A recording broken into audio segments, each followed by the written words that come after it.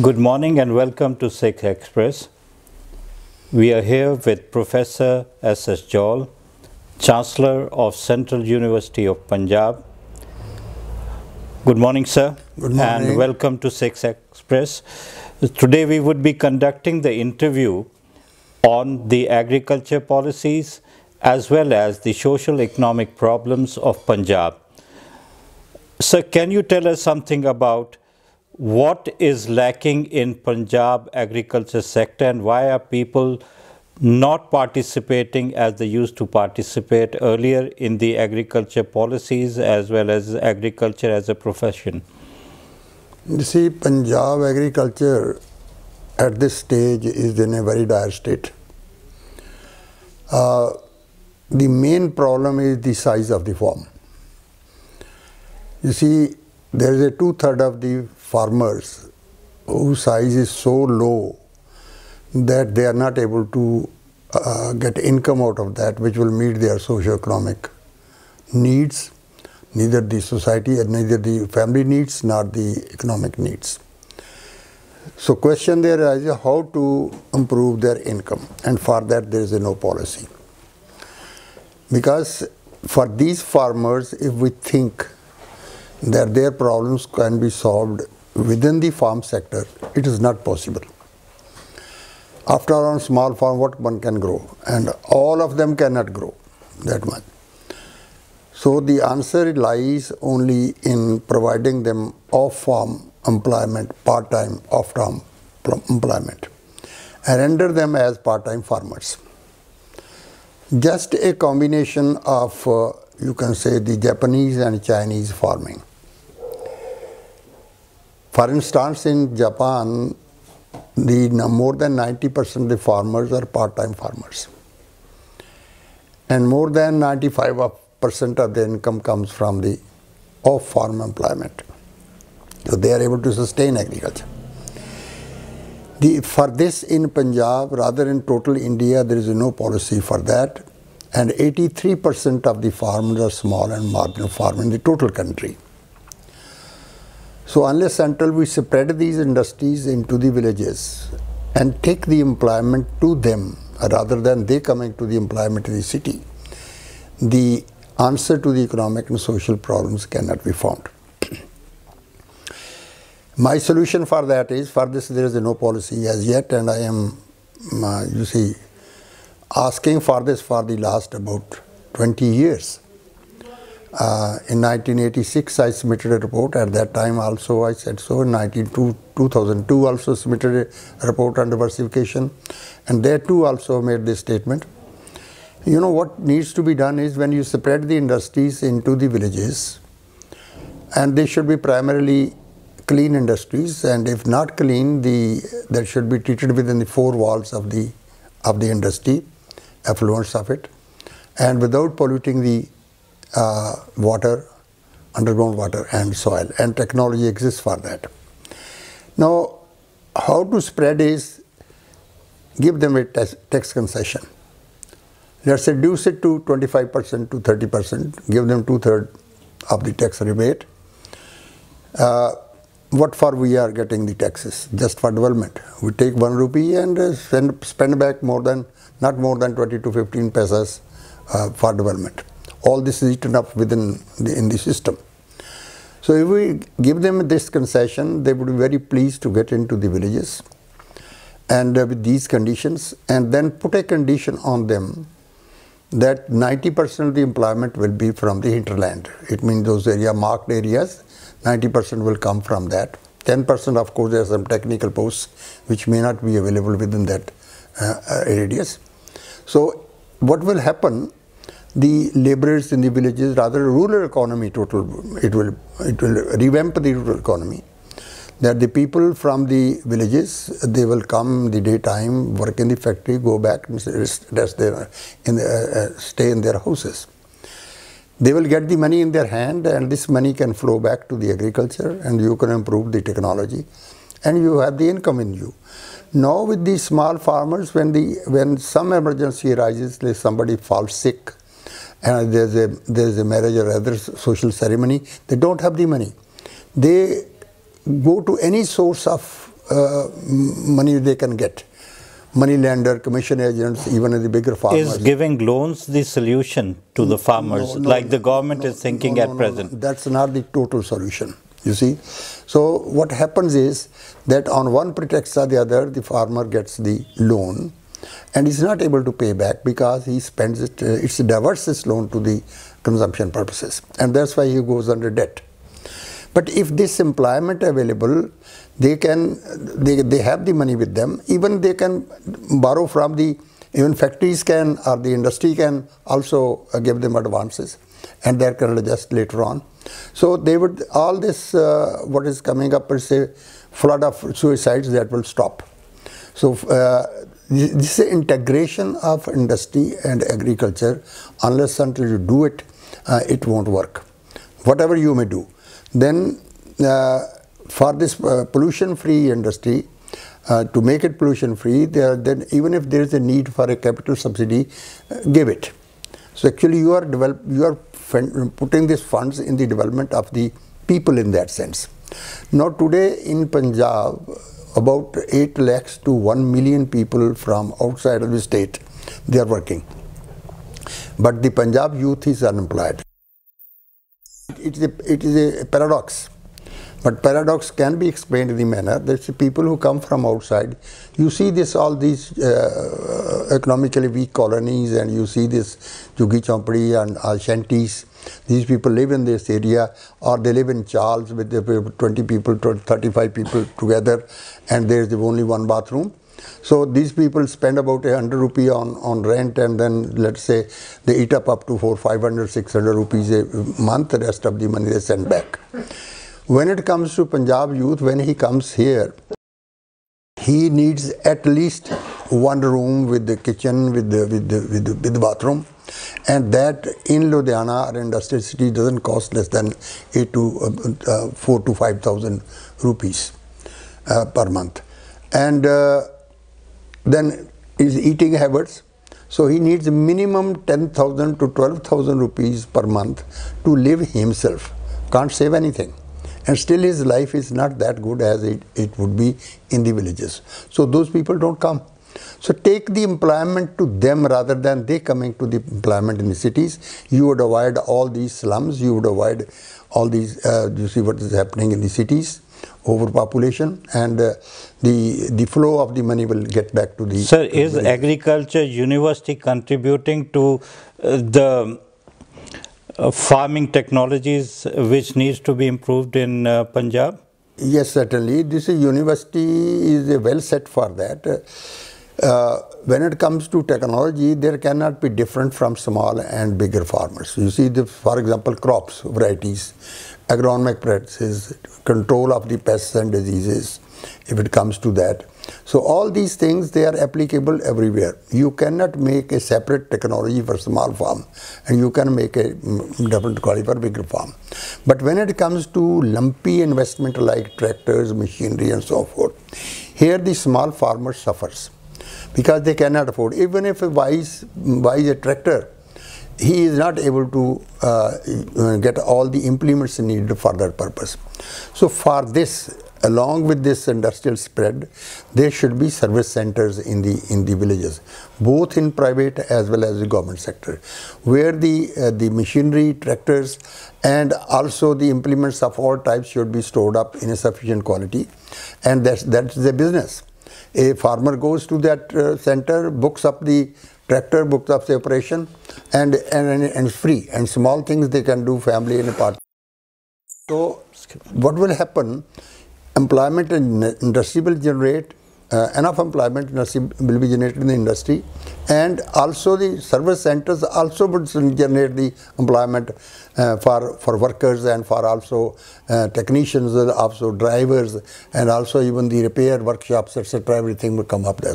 So small farmers don't need to have machinery, don't need to have, have implements, they can um, help only with small uh, implements and the family part-time can operate those farms even if it's a one acre farm that will become economical because the person has got the employment outside the factory. So then small farmer and medium farmer which are the problem today for them It is the this is the only answer. So my underlining the statement is that farm sector income problems cannot be solved within the farm sector. It has to integrate with the industry. Can the government play an important role in integrating the, as you have mentioned, integrating the industry with the farm sector? In fact, it's a government role.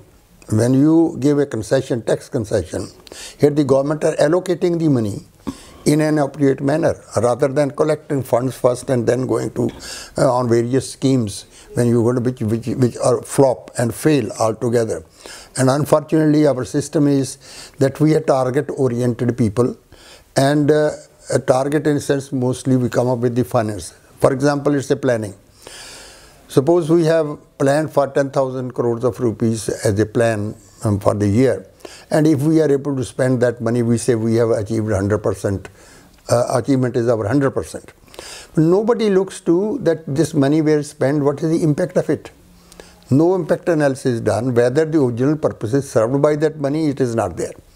So best thing is to encourage the private sector in a sense that instead of you're collecting the money and then putting it back and a lot of it is eaten up on the administrative aspects, this total money will go to the to the development purpose. I would rather like to have this uh, MNREGA, uh, the employment you have, uh, the that should be integrated also with the with the industry, and that will provide employment to the rural people on this.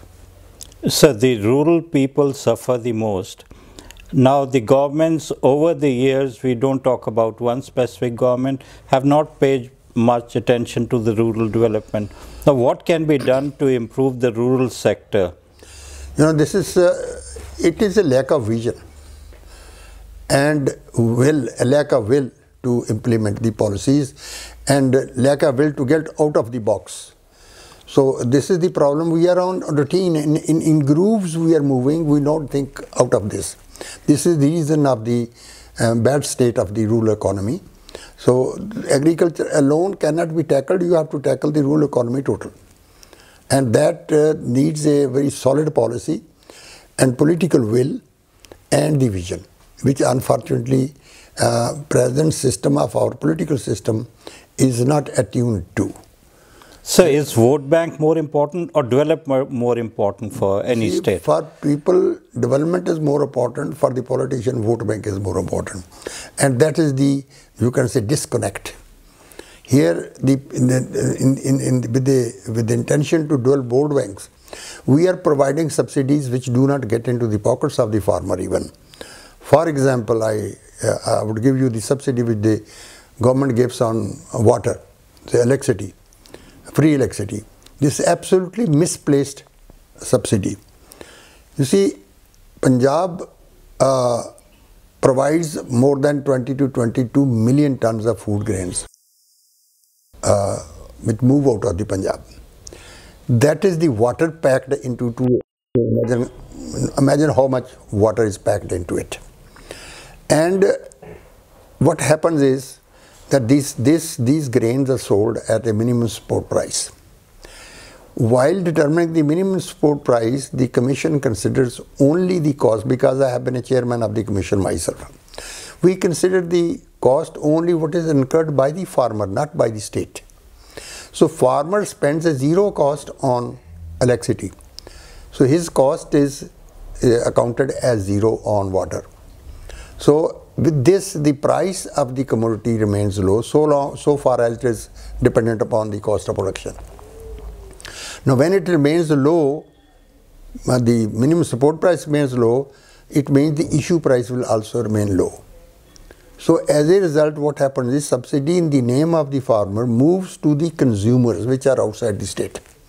So farmer does not getting the subsidy, but at the face of it looks the government is providing free water to the to the to the to the farmers, free electricity to the farmers, and that is to create the vote bank. This is this is a disconnect which is coming up, and unfortunate part is our politicians concerned only for the votes.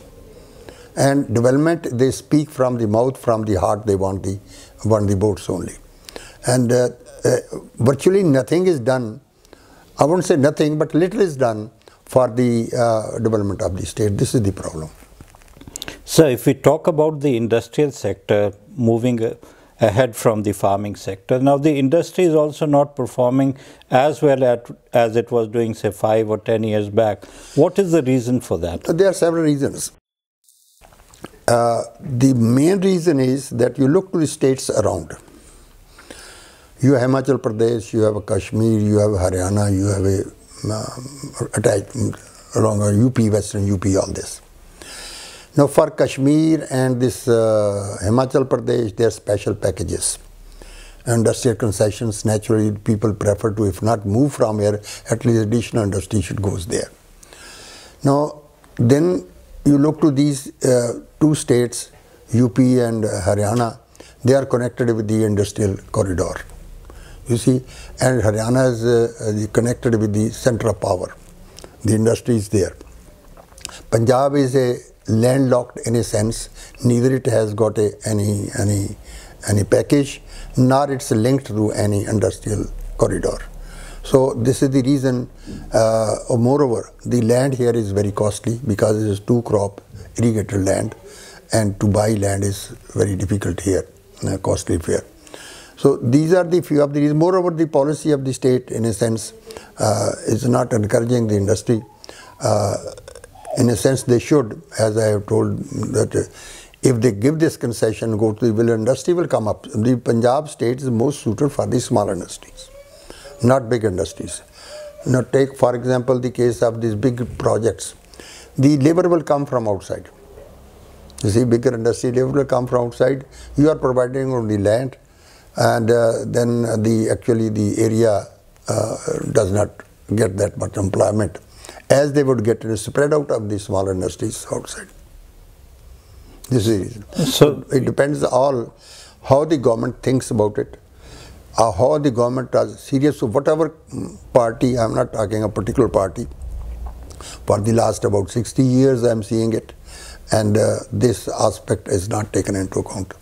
So, so you think that uh, all industry is the only way out to revive the industrial sector? That's right.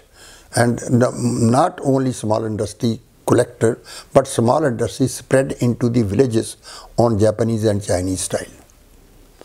That's the answer to the. Uh, what do you mean by Japanese and Chinese style? Japanese, I told you that the Japanese people they work in the industries most of the time and they part time there. In Chinese also they have along with the uh, farming sector they have all the industries along with them. People are working there too also. Uh, so because I have um, gone to China about three times, studied that. So there is uh, there is no person unemployed at all or underemployed right in the villages. So as a result, when you are when you are giving employment to the people, then many social problems are solved.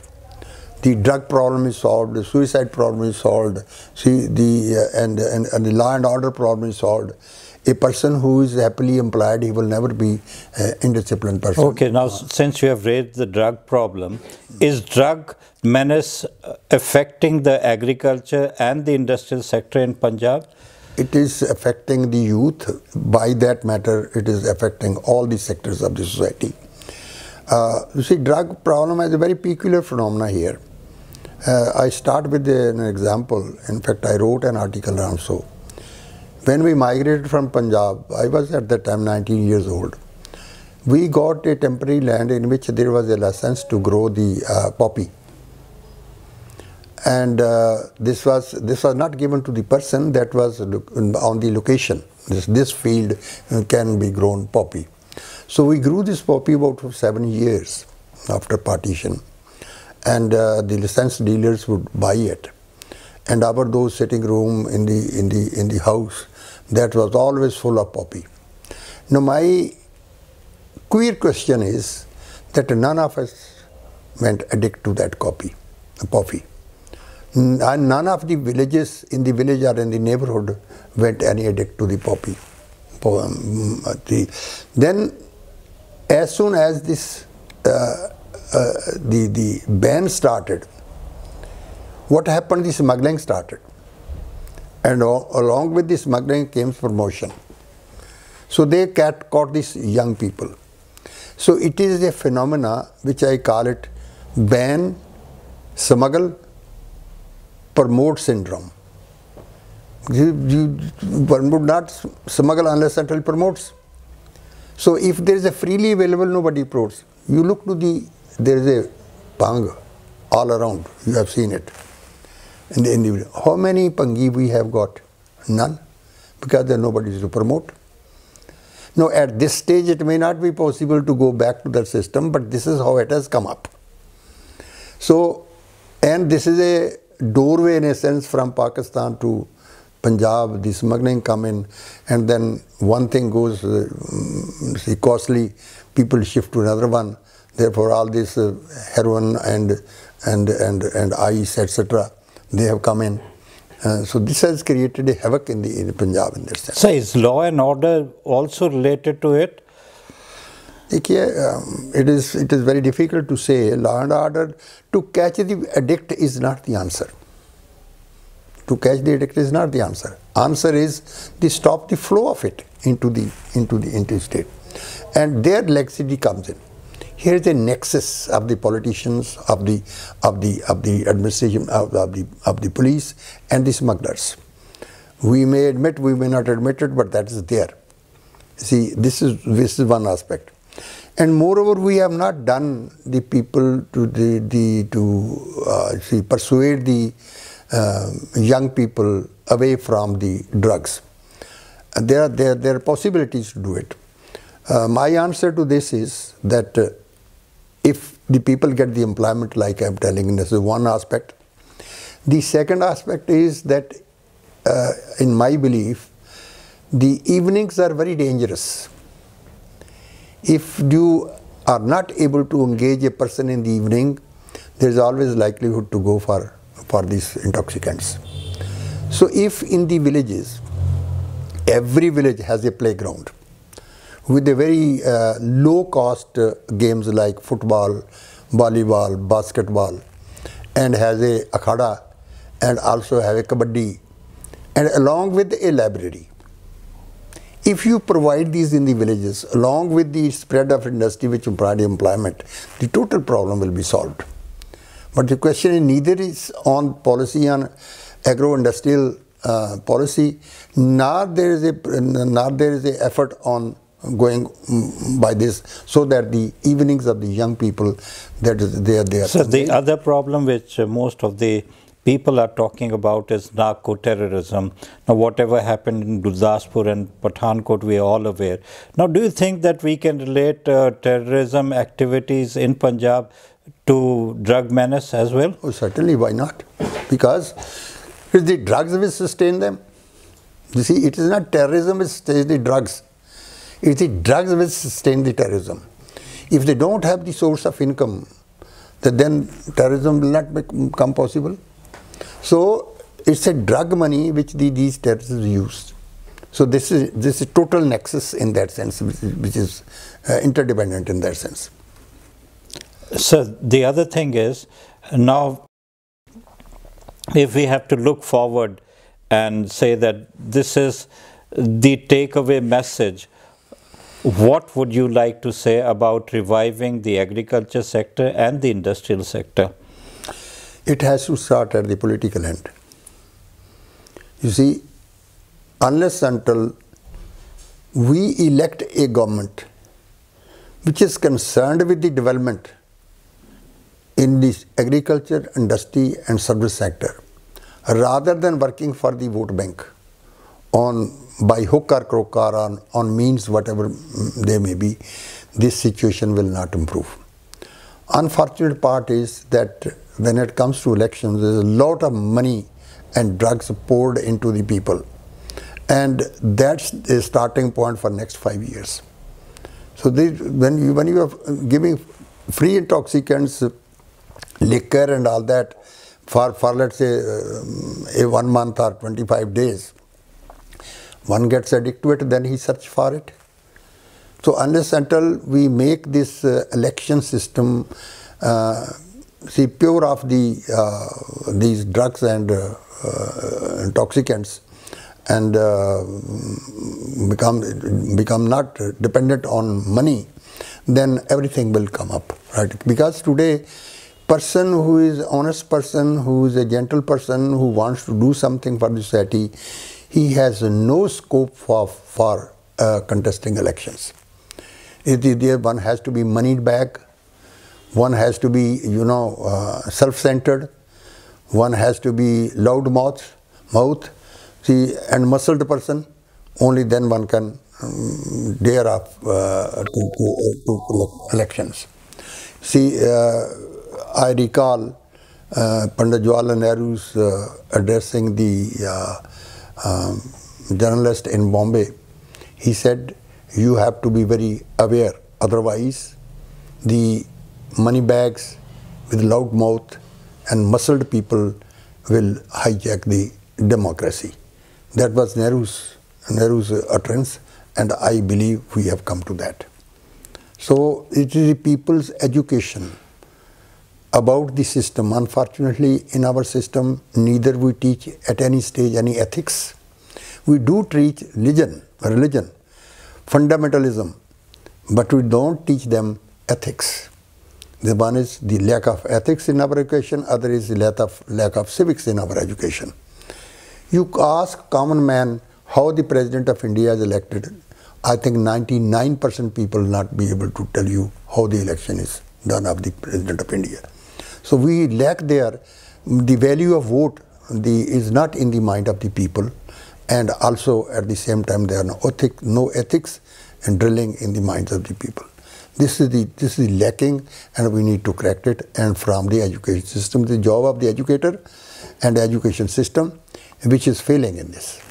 Sir, if you have to put money behind any politician or political party, which political party can really help in reviving Punjab? You know, that is a question which I would not like to answer. The reason is that uh, I do not belong to any party. And uh, I need clean people, whatever party it may be, you see, who are not self-centered, who are the society, societal approach they have got, development their approach. If we, I want that those people be elected, party may be any. Otherwise, today all parties, they use this money, they do this, all those things, they do it. So since I don't belong to any party and I don't want to be, give a biased statement for any party. Thank you very much, sir. Welcome, thank you. Welcome to Sikh Express program Right Angle. Today we are in Chandigarh to interview Professor G.S. Dhillon. We have exclusive story on Akali BJP government in Punjab.